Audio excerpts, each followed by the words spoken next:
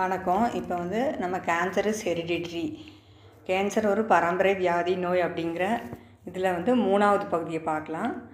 அந்த பத்தியில் இருக்கிற மூணாவது வாக்கியத்திற்குரிய அர்த்தத்தை வந்து பார்க்கலாம். அந்த மூணாவது வாக்கியம் என்னென்னா during the transformation to cancer carcinogens induce a change in one or more of the special functions of the cell இதில் வந்து நம்ம ரெண்டு வார்த்தைகளுக்குரிய அர்த்தம் முதல் இதில் பார்த்துடலாம். என் முதல் வார்த்தை என்னென்னா கார்சினோஜென்ஸ் ரெண்டாவது வார்த்தை என்னென்னா ஸ்பெஷல் ஃபங்க்ஷன்ஸ். இப்போ இந்த கார்சினோஜனுங்கிற வார்த்தைக்கு வந்து எனக்கு மொழிபெயர்க்கும் போது அர்த்தம் தெரியல. ஏன்னா இதெல்லாம் வந்து மருத்துவத்துறையில் இருக்கிறவங்களுக்கு தெரிய வேண்டிய வார்த்தைகள். நம்ம வந்து இயற்கை உணவு சாப்பிட்டு அனுபவத்துலேருந்து பேசிகிட்டு இருக்கோம் அதனால் எனக்கு இந்த வார்த்தைக்கு பொருள் தெரியல. சரின்னு சொல்லிட்டு கூகுளில் போய் சர்ச் பண்ணி பார்க்கும்போது பல அதிர்ச்சிகரமான தகவல்கள் தெரிய வந்துச்சு. அதாவது கேன்சர் உண்டாக்கக்கூடிய பொருட்கள் காரணிகளாக என்னெல்லாம் இருக்குது அதாவது நம்ம வந்து நினச்சிட்டு இருக்கோம் நம்ம உணக்கூடிய உணவு மட்டும்தான் காரணம் அப்படின்னு சொல்லிட்டு. ஆனால் மற்ற காரணிகள் கார்சினோஜன்ஸ் கேன்சர் உருவாக்கக்கூடிய காரணிகள் என்னெல்லாம் இருக்குது அப்படிங்கிறத வந்து நம்ம பார்க்கலாம். முதல் காரணி என்னென்னா வந்து காணொலியை தொடர்ந்து பார்த்துட்டு வர்றவங்களுக்கு தெரியும். சமைத்த உணவு சமைத்த உணவினால் உண்டாகும் புகை சமைத்த உணவினால் உண்டாகும் உஷ்ணம். இதனால் பெரும்பாலும் வந்து சமைத்த உணவினால் எல்லோரும் பாதிக்கப்பட்டாலும் அதில் வர புகையும் உஷ்ணமும் வந்து இன்றைய சமுதாய சூழ்நிலையில் இந்த சமுதாய அமைப்பில் பெண்கள் மட்டுமே சமைக்கிற மாதிரி இருக்கிறதுனால பெண்கள் தான் வந்து இதனால் பாதிக்கப்படுறாங்க. இதனால் பெண்களுக்கு வந்து கர்ப்பப்பை மார்பக புற்றுநோய் இதெல்லாம் வந்து அதிகமாயிட்டே வர்றதை வந்து நம்ம பார்த்துட்டு தான் இருக்கோம் நடைமுறை வாழ்க்கையில். அடுத்தது என்னென்னா இதுக்கும் வந்து பெண்கள் தான் வந்து இலக்காகிறாங்க. என்னென்னா பர்த் கண்ட்ரோல் கான்ட்ராசெப்டிவ்ஸ். அதாவது குழந்தை பிறப்பை தடுக்கிறதுக்காக பெண்கள் உட்கொள்ளும் கர்ப்பத்தடை மாத்திரைகள். இது என்னென்னா வந்து நம்ம உடம்புல இருக்க ஹார்மோன்ஸையே சேஞ்ச் பண்ணக்கூடியது. அதாவது இனப்பெருக்கத்துக்கு வந்து தடுக்கிறோன்னா நம்ம அதுக்குரிய சுரப்பிகளை வந்து தடுக்கணும். அந்த மாதிரி தான் இந்த மாத்திரைகள்லாம் இருக்கும். அதனால் வந்து பெண்கள் வந்து பின்னால் வந்து அவங்களோட ஆரோக்கியம் வந்து ரொம்பவே பாதிக்கப்படும். அதை சாப்பிடும்போதே வந்து அவங்க சில சைடு எஃபெக்ட்ஸுக்கெல்லாம் பக்க விளைவுகளுக்கெல்லாம் ஆளாவாங்க. அது வந்து சாப்பிட்டவங்க வந்து உணர்ந்திருப்பாங்க. அடுத்தது வந்து என்னென்னா ஸ்ட்ரெஸ்ஸு மன அழுத்தம். இப்போ நம்ம வந்து சமுதாயத்தில் நம்மளை நிரூபித்து நிற்கணுங்கிறதுக்காக பணம் பதவி அந்தஸ்து நம்மளை மற்றவங்க மதிக்கணும் அப்படிங்கிறதுக்காக நம்ம ஓடிட்டுருக்கோம் ஆனால் இதெல்லாம் நம்ம மன அழுத்தத்தை தான் பாதிக்குது. நம்ம பேர் கூட நமக்கு நிரந்தரம் கிடையாது. நம்ம வந்து நம்ம உடல்லேருந்து நம்ம உயிர் போயிடுச்சுன்னா நம்மளை வந்து பாடின்னு தான் சொல்லுவாங்க. அப்போ வந்து எதுக்கு முக்கியத்துவம் தரணும் அப்படிங்கிறத வந்து நம்ம புரிஞ்சுக்கிட்டோம்னாலே நம்ம வந்து இந்த மன அழுத்தத்துலேருந்து விழு விடுபட்டு நம்ம வந்து சந்தோஷமாக இருக்க முடியும். அடுத்து வந்து என்னென்னா சுற்றுப்புறச்சூழல் மாசு. நம்ம சுற்றுப்புறச்சூழலில் காற்று ஒளி தண்ணீர் நிலம் நீர் இதிலெல்லாம் இருக்கிற மாசுக்கள்னாலேயும் நமக்கு கேன்சர் வரக்கூடிய வாய்ப்பு இருக்குது அடுத்தது வந்து ஆஸ்பெஸ்டாஸ் கூரைகள். இப்போ ஆஸ்பெஸ்டாஸ் கூரைகள் வந்து சூடாகும் போது அதுலேருந்து வெளியாகும் கதிர்வீச்சுகள் வந்து நமக்கு மிகவும் கெடுதல் தரக்கூடியவை. இது வந்து ஆஸ்பெஸ்டா ஷீட்டுக்கு அடியில் குடியிருக்கிறவங்களுக்கு வந்து இதை புரிஞ்சிருப்பாங்க. ஆஸ்பெஸ்டா ஷீட்டுக்கு அடியில் குடியிருக்கிற அனுபவம் எனக்கும் இருந்திருக்கு. என்னென்னா அது வந்து நம்ம பகலில் அந்த வீட்டுக்குள்ளே நம்ம ரெஸ்ட் எடுத்தோன்னா நமக்கு தலைவலி வந்துடும் எப்போவுமே நமக்கு வந்து உள்ளங்கால் தான் சூடாக இருக்கணும் தலை வந்து குளிர்ச்சியாக இருக்கணும். ஆனால் தலைவலிச்சு நமக்கு அந்த தலைவலி வர்றதை வந்து நம்மளால் உணர முடியும். ஆஸ்பெஸ்டாஸ் கூரைகளுக்கு அடியில் இருந்தோன்னா அதனால் அதையும் வந்து நம்ம தவிர்க்கணும். ஒன்று டெரஸ் வீட்டில் இருக்கணும் இல்லாட்டி கூரை வீடுகள் பனை தென்னை ஓலைகள் வைந்த கூரை வீடுகளில் இருந்தால் ரொம்பவே நல்லது. பனை தென்னை ஓலைகள் வைந்த கூரை வீடுகள் வந்து பகலில் நமக்கு குளிர்ச்சியும் குளிர்காலத்தில் நமக்கு தேவையான கதகதப்பையும் தரக்கூடியது.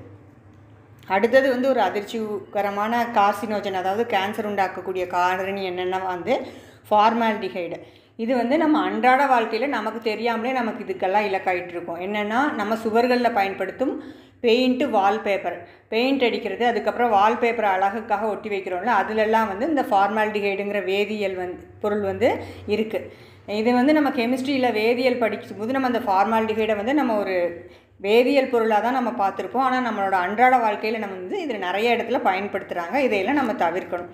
அடுத்தது என்னென்னா சிந்தட்டிக் ஃபேப்ரிக்ஸ் அதாவது இந்த பாலிஸ்டரு நைலான் அந்த மாதிரிலாம் வர துணிகள் இருக்கு இல்லையா அதில்.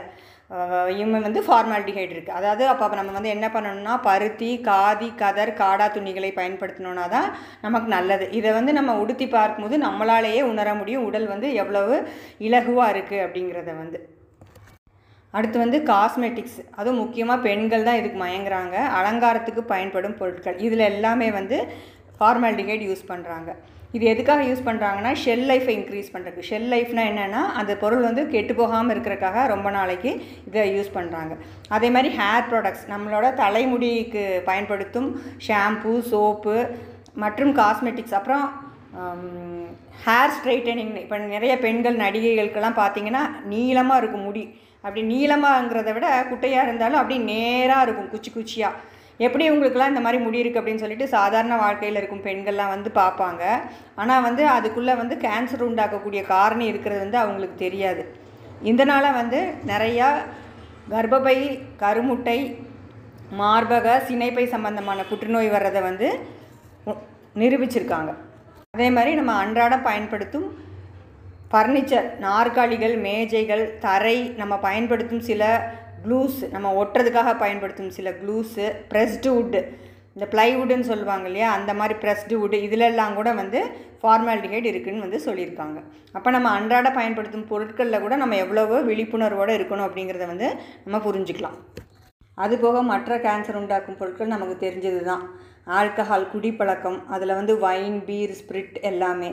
அதுக்கப்புறம் tinned canned foods cigarette packed foods அதாவது பேக்கரியில் விற்கிற ஐட்டங்கள் கூல் ட்ரிங்க்ஸ் டொபாக்கோட்டோ ப்ராடக்ட்ஸ் அதாவது இந்த மூக்கு பொடி புகையிலையெல்லாம் போடுறது. இறைச்சி அதுலேயும் ரெட் மீட்டுன்னு சொல்கிற பன்றி மாட்டிறைச்சி ஆட்டிறைச்சி மற்றும் கோழி இறைச்சி. அதுக்கப்புறம் மீன் அதுவும் கெடுதல் தரக்கூடியது தான் அதுக்கப்புறம் எக்கு முட்டை அர்னால் டயரட் சொல்லியிருக்காரு. அது வந்து ரொம்ப கெடுதல் தரக்கூடியது நமக்கு மலச்சிக்கலை உண்டாக்கக்கூடியதுன்னு சொல்லிட்டு இதை என்னுடைய அனுபவத்தில் நானுமே உணர்ந்திருக்கேன்.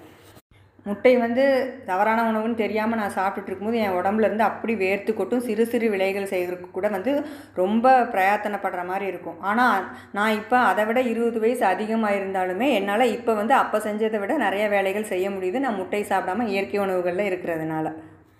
அடுத்து சுகர் ஒயிட் சுகர் அப்புறம் grilled food grill chicken grill மட்டன்லாம் விற்கிறாங்க இல்லையா அந்த பொருட்கள் எல்லாம்.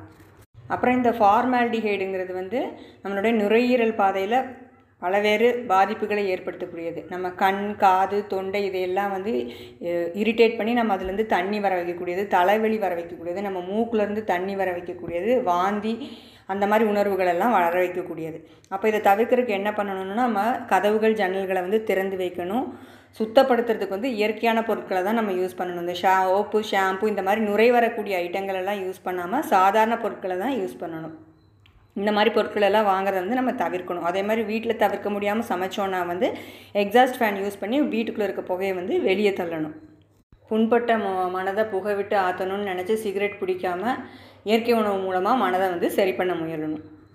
அடுத்த வார்த்தை வந்து ஸ்பெஷல் ஃபங்க்ஷன் இந்த ஸ்பெஷல் ஃபங்க்ஷனுக்கு நீங்கள் அர்த்தம் புரியணும்னா வந்து ஏற்கனவே முதல் ரெண்டு காணொளிகளில் வந்து potential mechanisms differentiation cell division functionally active இந்த வார்த்தைகளுக்கு நான் சொல்லியிருக்க பொருளை வந்து நல்லா புரிஞ்சுக்கிட்டிங்கன்னா இந்த ஸ்பெஷல் ஃபங்க்ஷனுக்குரிய பொருள் வந்து உங்களுக்கு புரியும்.